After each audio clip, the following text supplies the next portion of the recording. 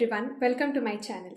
Today I'll be discussing about a condition which has become very common nowadays that is PCOS, polycystic ovarian syndrome.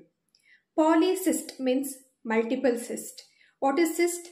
Cyst is a fluid filled cavity. So these fluid filled cavity get accumulated in the ovaries and lead to set of signs and symptoms which is called as syndrome. That's why it is called as polycystic ovarian syndrome. If you go to define it, it goes like this. It is a clinical syndrome characterized by weight gain, irregular menses, amenorrhea, and symptoms of androgen excess, such as acne and hirsutism. Now, what are the causes for PCOS? First one is genetic cause. Second one and the most important cause is lifestyle.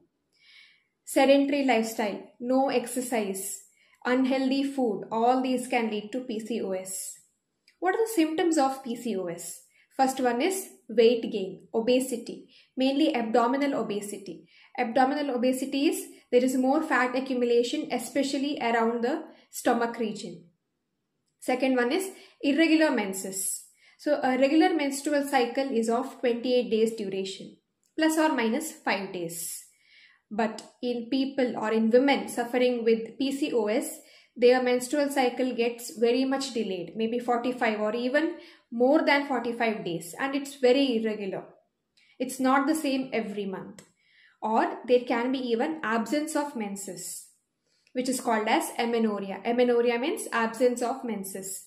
But clinically, to say that it is amenorrhea, there should be no menses for a period of at least six months. Only then we can say that the lady is suffering from amenorrhea, which becomes or which is an important symptom of PCOS. Okay.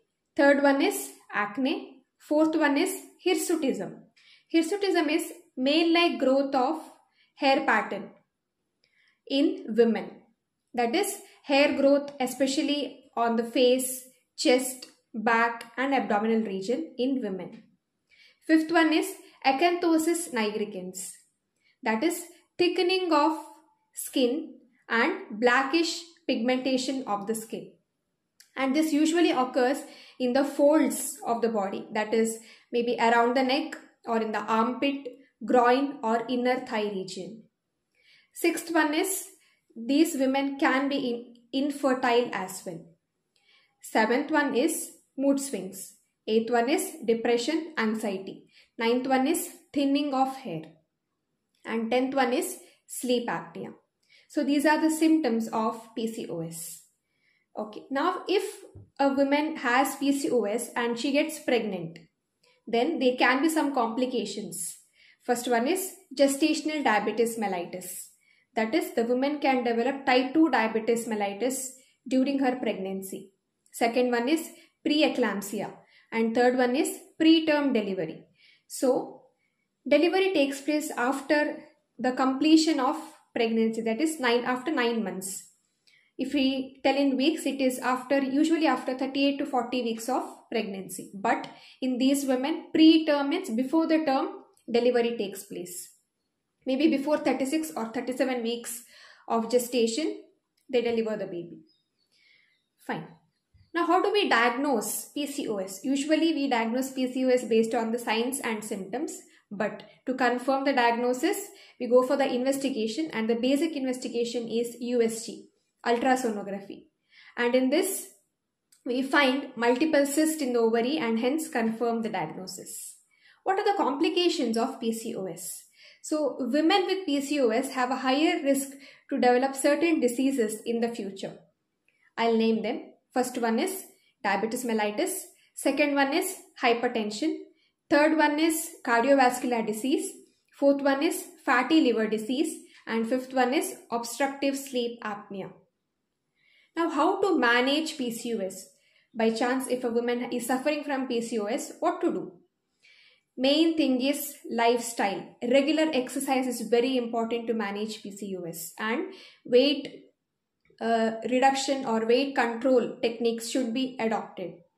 And healthy diet.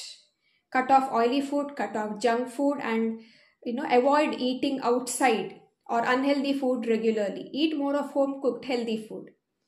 even the prevention also remains the same that is adopting a healthy lifestyle regular lifestyle eating on time sleeping on time and uh, you know regular exercise weight control should be uh, you know adopted and also healthy diet so prevention and management is same in uh, same for pcos that's it for today's video i hope this was informative if it was do share it with your friends and family and remember to subscribe to my channel and start your journey on being healthy. If you have any doubts or any questions, leave it in the comment section below. Thanks for watching. I'll see you in the next video. Until then, goodbye.